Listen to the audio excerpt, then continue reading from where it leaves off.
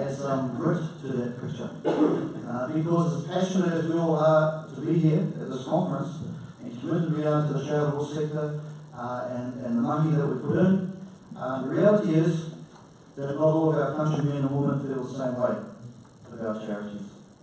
Um, and there are uh, aspects of our community and our, our media that, uh, given an opportunity, will be uh, happy to, to put the knife in. Um, so, and that's the reality. So, the, the topic this morning is uh, how we actually build and maintain trust in the charitable sector, confidence and trust of the public, and that's absolutely critical for the sector um, to be successful going forward. So, it's a very um, serious uh, topic.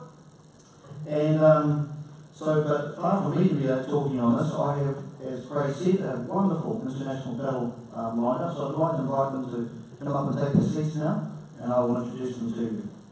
Um, as they're their way up, I'll just explain how the format will go. So they've each been given uh, seven minutes to um, do a presentation to us from their perspective.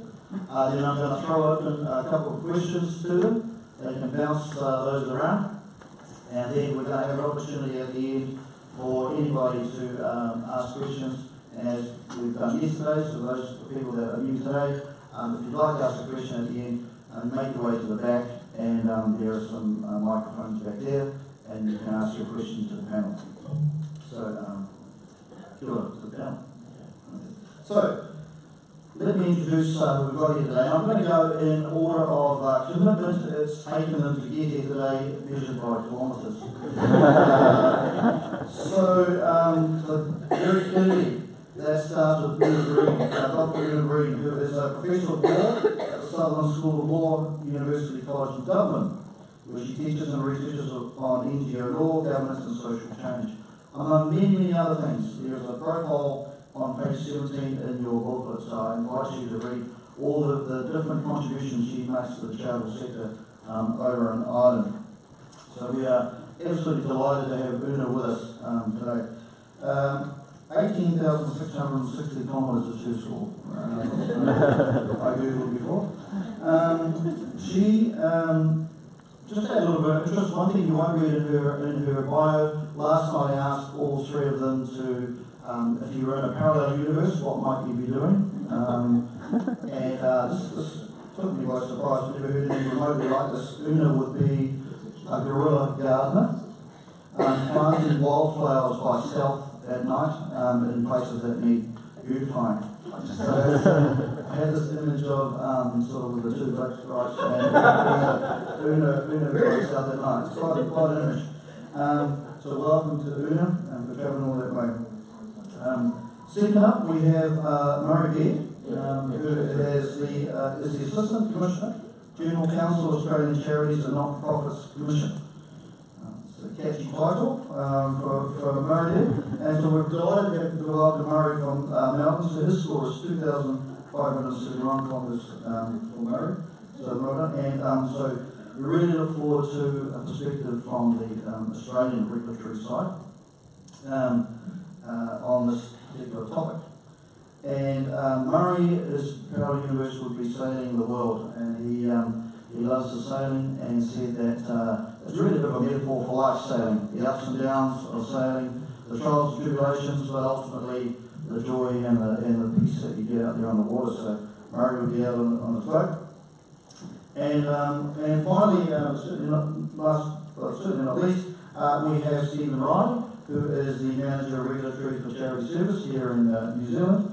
Um, Murray uh, Stephen scores 3.1 kilometres coming from Brooklyn. so it's, uh, it's the term I'm introduced here. Um, and uh, his uh, parallel universe would be uh, being the lead singer for the Killers. Um, so we've got a rock star in our midst. Here, uh, so um, very um, not only uh, esteemed panel in terms of their uh, ability to contribute to this uh, corridor this morning, but also some very interesting things they would be doing otherwise.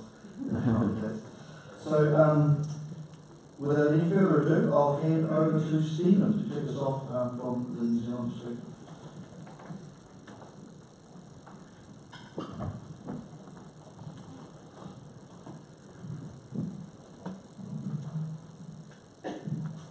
Tēnā tātou uh, and some board members, guests from overseas, my panel, fellow panelists, Oonagh and Murray. I was wondering if Murray's had time to see the skeleton of Phar Lap in the museum yet. yeah, that's uh, the famous racehorse's skeleton is in Te Papa, his heart is in and his hide is in Melbourne, I. Can I just say something about being released into the killers as well? So that question took us by surprise, and I went first. So I'm, so I'm looking really shallow, you know. uh, but, uh, school holidays here in New Zealand for our um, overseas visitors, and I took uh, with the family out to up north to see my mum, and um, when we started having children, I sort of made a bit of a pact to myself that I wouldn't get behind in music because I, I, you know, I love music. And um, the Killers put their first album out when we had two kids under three with one on the way. So it's kind of a bit of a soundtrack, and so I think it's probably something that they have heard because it's been played in the background in sort of four albums. And so they played in Auckland last um, last Friday, and so I was surprised we had to see the Killers. And I think kids were staggered. They've been to sort of a full-time rock and roll concert to Auckland colleagues, that venue on the waterfront is incredible. We had one of those in Wellington, but um, it was an amazing concert. And that first album they put out, the first three songs had, they played them, and they were just as fresh today as they were back in 2004, I think. Thanks to the organising committee for inviting me here. Um, ladies and gentlemen, I am a regulator. I have been a regulator for 11 months. Um, prior to becoming a regulator, I was, um, I was, I was had, a career in public policy. Um, so in, in public sector jargon, I jumped the fence from, um, from policy to operations. A lot of public policy purists out there who think that's just the sort of the most incom- incomprehensible thing anyone could do. However, I've not regretted the change. It's been a great 11 months, uh, almost going my one year anniversary. It's been so refreshing. I work with group of dedicated regulatory professionals that care deeply about their work and about the shadow of the sector. And I'm really fortunate that I'm quite tolerant when I occasionally bring my ideas to the table. They, know. So this time last year I was policy manager with the DIA. DIA is the regulatory steward of about a dozen regulatory frameworks, really diverse, citizenship, local government, gambling, the racing industry, anti-money laundering, and of course the charitable sector. In DIA, see Louise is here today again today, um, the policy group is responsible for advising, ministers on those regulatory frameworks and how those frameworks might best achieve the government's ambitions for New Zealand. Heard the minister talk about the review, it's fantastic news that that's sort of um, almost full steam ahead.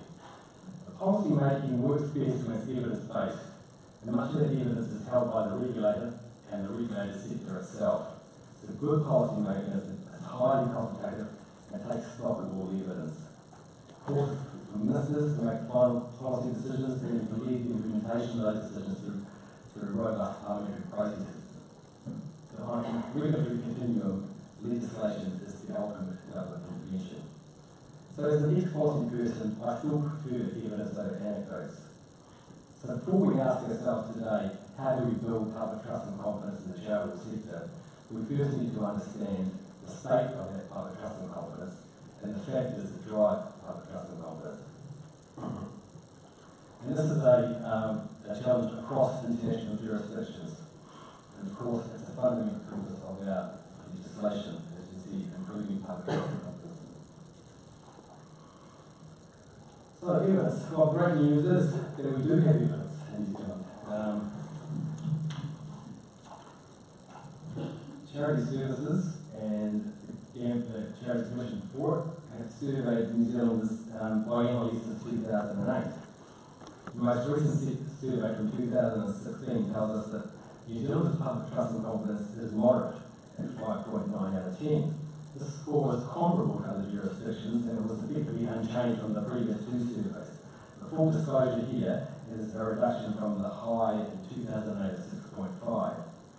So this score, almost 6, was comparable to the public trust and confidence in the education sector, um, uh, health sector, small business and law enforcement, with the least trusted sector being the media.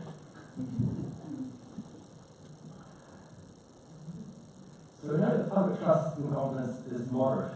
there's always room for improvement. The next question is what drives public trust and confidence? Well, back to the survey, it tells us there are 10 key drivers, and these can be grouped into sort of four broad themes.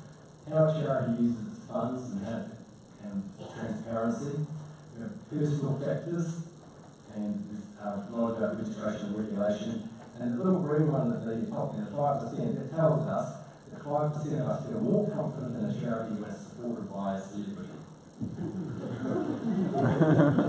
the personal, the personal connection theme is where a person has obviously a personal connection with a charity or, or the charity supports a cause that is particularly important to the person. I'll set that theme to one side because I don't think the regulator, regulator can really have too much influence in that space, but it is important because these things are all interrelated. So the key driver is around how ch- ch- charities use their funds and how transparent they are. Um, I want to see, want to see charities using their funding well, um, most wisely where it's needed the most to make a positive difference. And they want, and they want just a good measure of transparency. And I think this goes back to Robert Buchanan's usage yesterday about accountability. So that's what the, um, a little bit about what we're talking about for the reporting, about timeliness of reporting the new reporting standards and, um, and making sure that the, cold, focus is that they, um, make it easy for the public to understand it and access the kind of information that helps them to make the informed decisions about charities that they want to support. Not only about compliance with the Act, but it's also about expectation.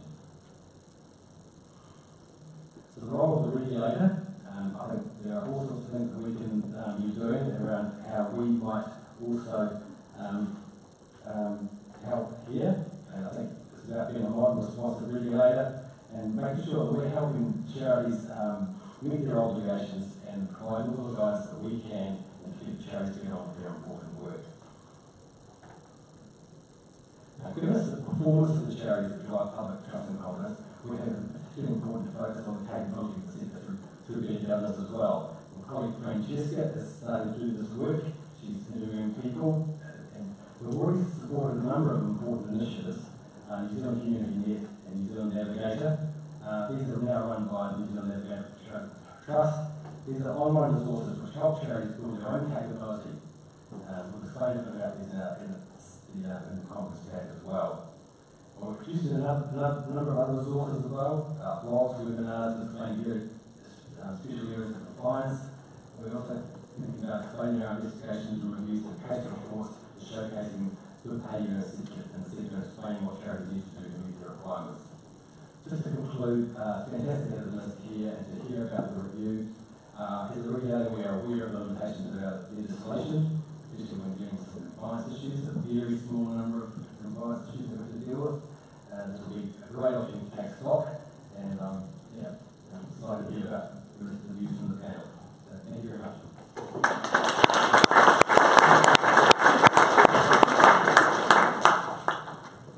Great, thank you, Stephen. Um, so that's a bit of a New Zealand perspective. Um, so we'd like to um, cross the ditch now and, um, and uh, hear from Murray to give us an Australian uh, perspective on that. Thank you, Wayne, and thank you uh, to my friends and co-workers uh, here this morning wanting to explore what creates public trust and confidence. Um, I have seven suggestions on how regulators can contribute to trust and confidence. Seven suggestions in seven minutes, so we have our case on. Um, but first, why should we be interested in public trust and confidence in charities? Why does it appear in the objects of most regulators, charity regulators around the world?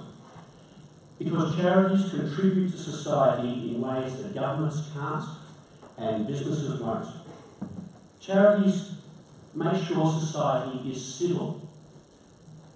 Love for others, or, or at least other regarding or altruism, is considered good. And I want to stress that regulators have a part to play in public trust and confidence but they cannot be held solely responsible uh, for this issue. Practitioners, academics, sector leaders, politicians, ministers, media and regulators all must play their part. And when it comes to public trust and confidence, we're all about the same thing. Trusted, healthy charities. Just playing different roles. So, on to my first suggestion.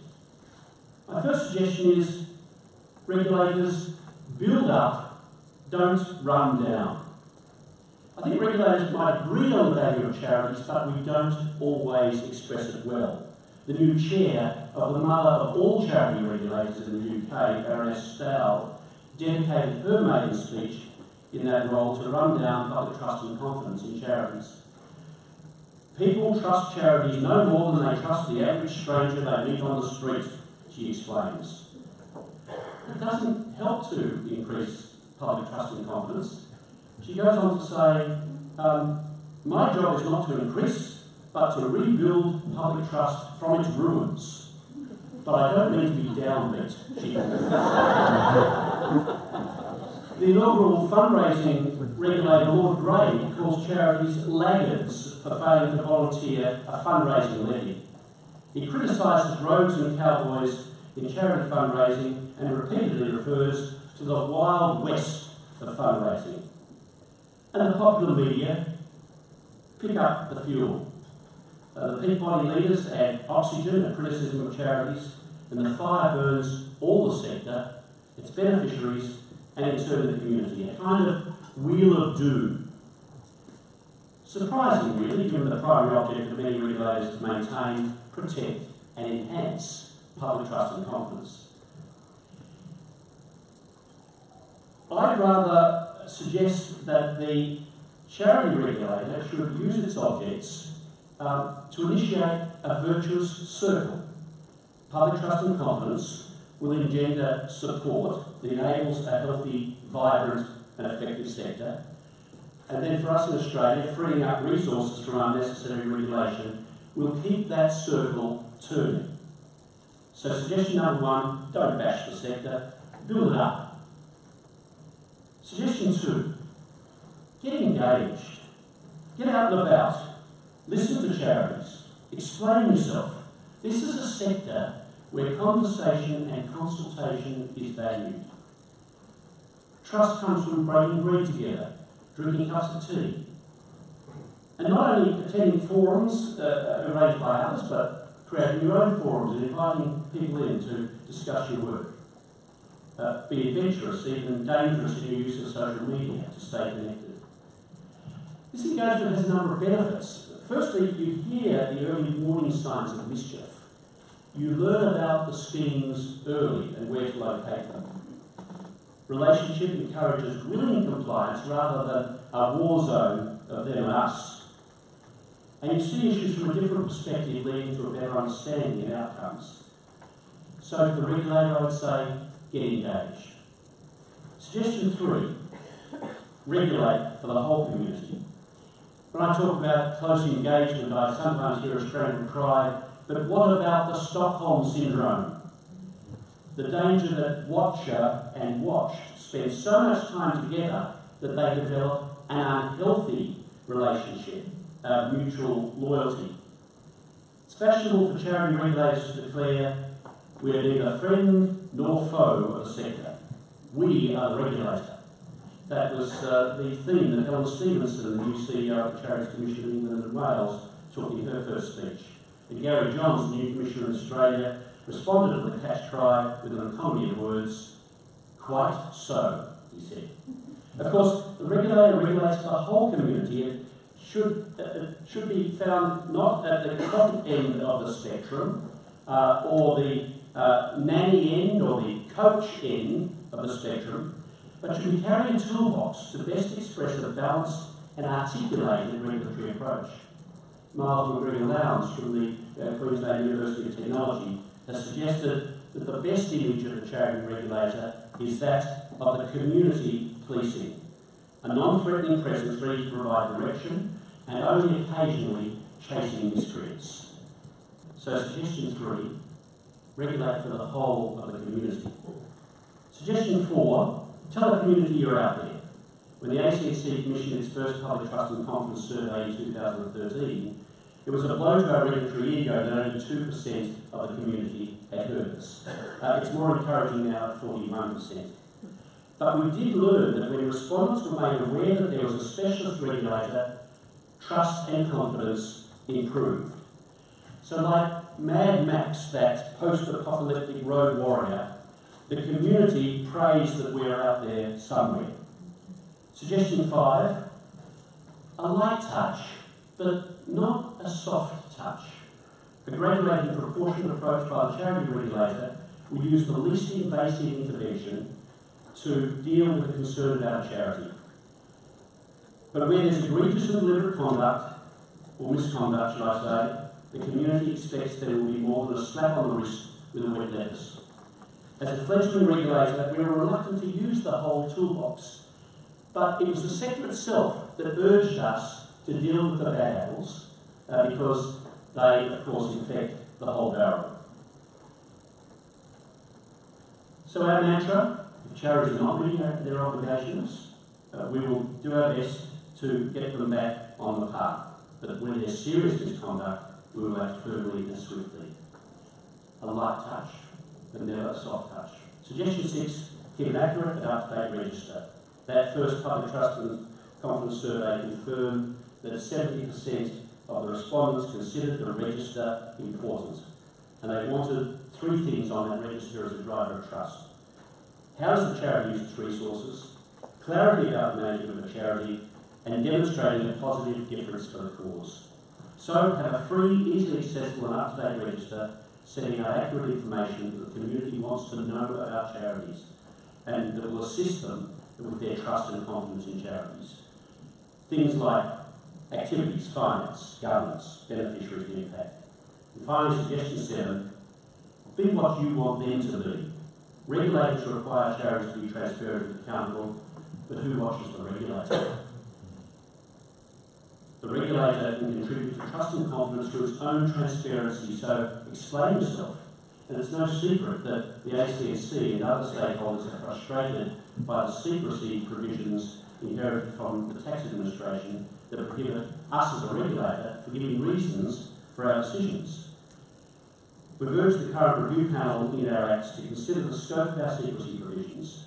We're making quasi-judicial decisions. We're applying facts, law, uh, to bring an outcome that affects rights. We should give reasons, we should be transparent, we should be accountable.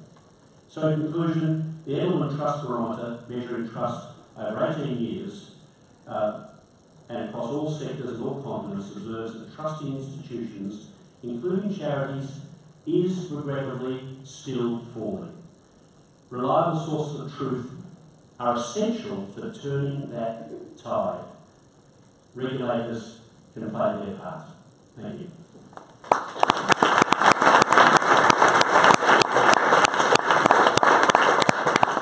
Thank you very much, Murray. Um, seven and seven, that's quite a challenge. Um,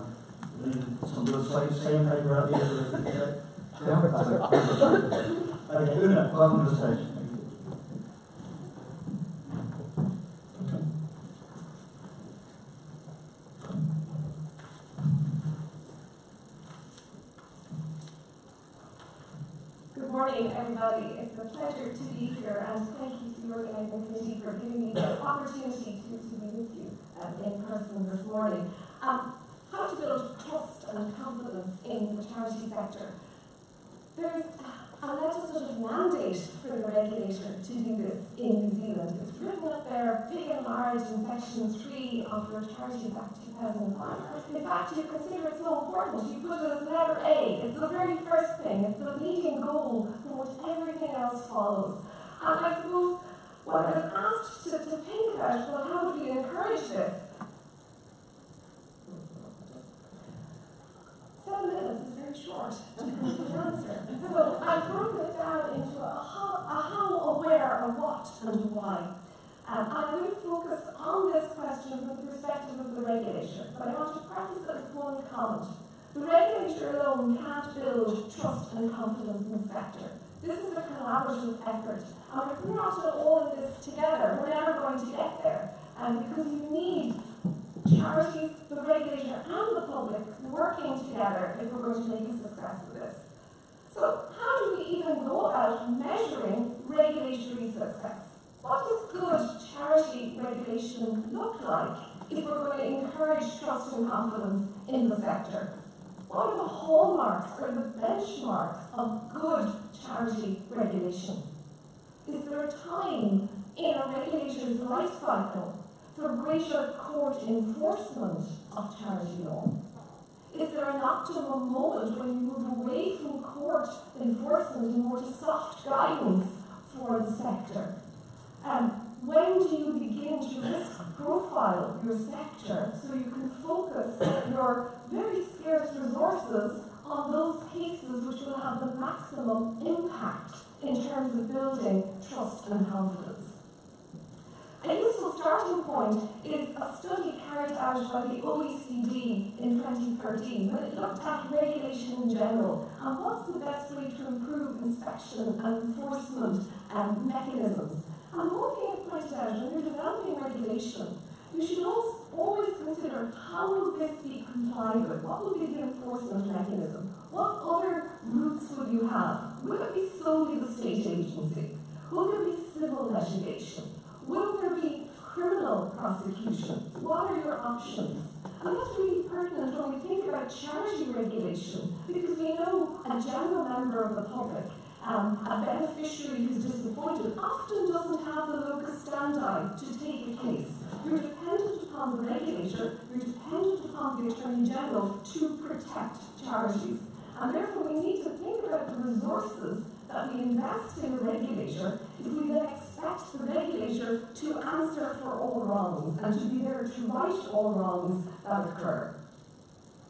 Where do we look for proof of regulatory success when it comes to charity regulation? Do we look internally, looking out from the regulator's perspective? Or is it externally looking in? Well, if we start with the internal version, we might look at the strategic plan that our regulator puts forward. This is quite easy in many jurisdictions because they have a nice corporate plan of what they plan to achieve over the next three years. And this morning when I was reflecting on this, I looked at your neighbour Australia, and they've got this 18-page document of a corporate plan setting out their operation environment, their performance, risk management, capability, and issues. And then they followed up at the end of the year with an annual report. And we hope that the two documents speak to each other so that you have here's what we hope to do and here's what we did. They don't always match up. Many jurisdictions, those two documents, um, they don't look related. And that's a challenge for every regulator. But it's a particular challenge here in New Zealand for you because of the fact that your regulator is housed within the department, the Department of Internal Affairs. And it means that when you come to look for the corporate report, the strategy statement, you're down to a page and a half within the department its own document setting out the KPIs. And when it comes to the annual report, um, I was delighted last year and I encourage you to do it again. You had at least a two-page summary saying, here's our year in numbers, here's what we achieved.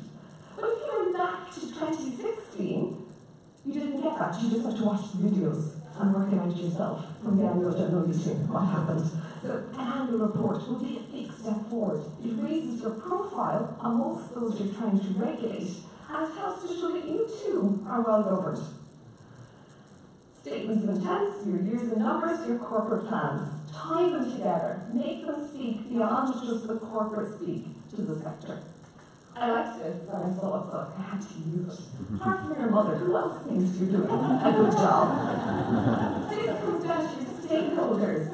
Um, and Murray mentioned the Edelman Barometer of Trust, a, a, a nice barometer to look at because it covers 28 different countries. When you look at New Zealand, you found that last year, or this year, 2018, uh, released in February, um, the government topped the polls, most trusted institution in New Zealand, the government, 57%.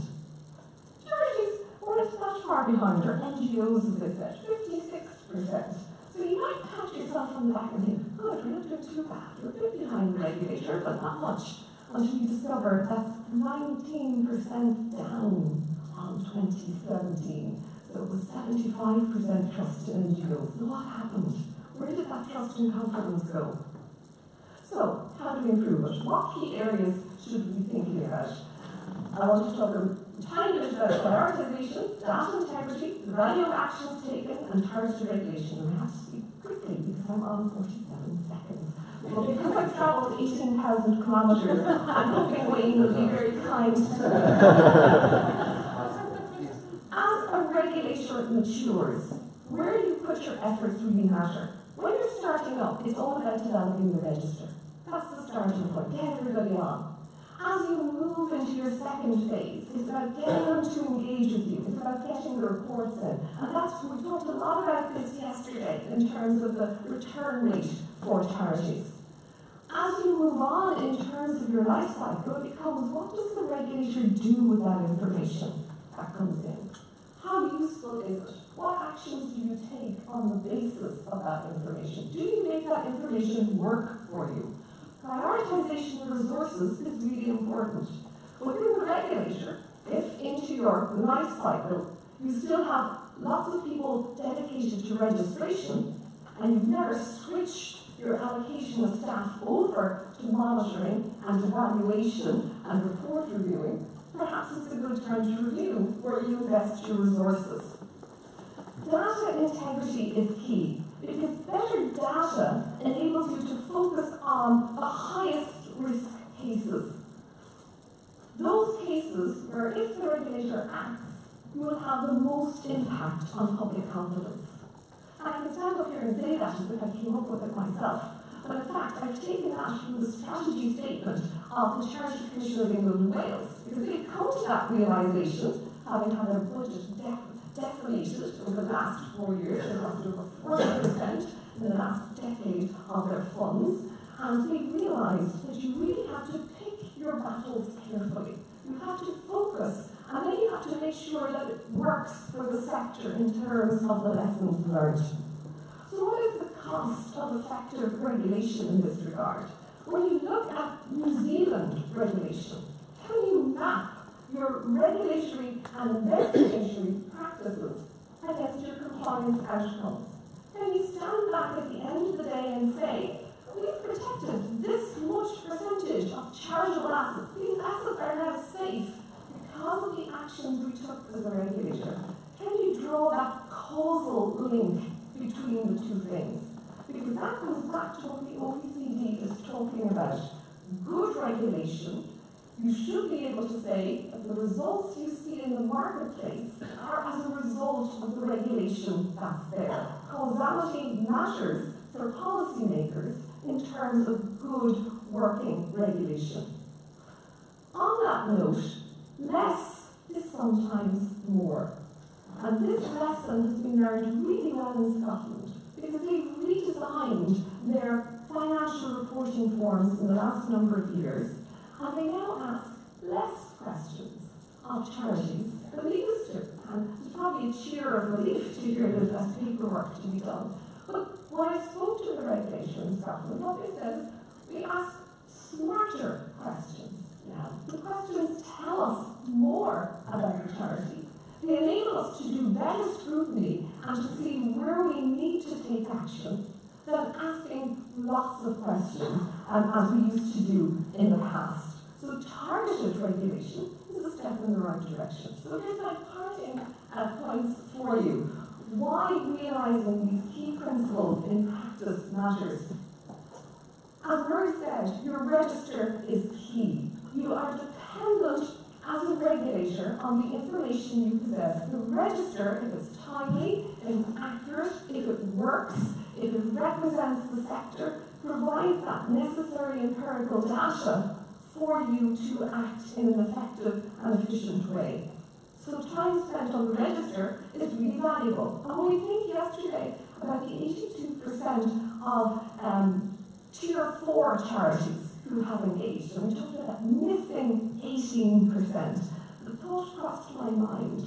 To what extent, even if they haven't filed their reports, have those T4 organisations otherwise engaged with the regulator? Are they updating who their charity trustees are? Um, is there any other sign of life out there? Because the register can be a very useful indicator of the, status of a body. Data integrity, as I've mentioned, is a key point. You can't take good action if you don't have good data.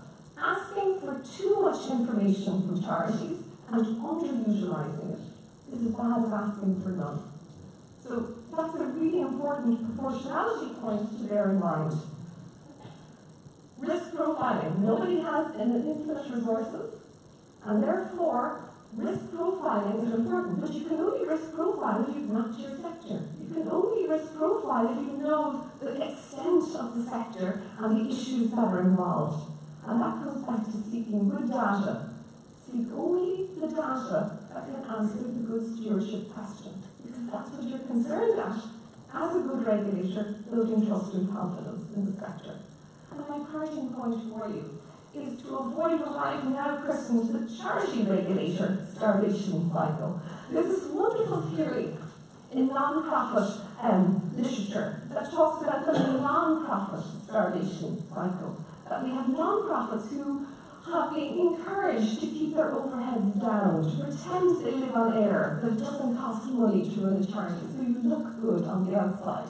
I maybe they're starving themselves. They can't, they don't have the infrastructure, they can't run anymore. And that's probably a tension that many charities in the room understand. You have to spend and invest in your infrastructure if you're going to operate well.